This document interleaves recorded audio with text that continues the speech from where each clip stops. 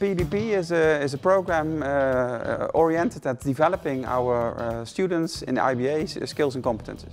I would uh, describe it as like a plan not to only work on your academic skills, but also on developing employability skills and building character and personal branding. Everybody has knowledge when you graduate from university, so you don't have a head start when you do have knowledge. I do think it's important because there's more to only knowing theory and um, studying in books. I would love it was there back in my uh, time. I graduated in the year 2000.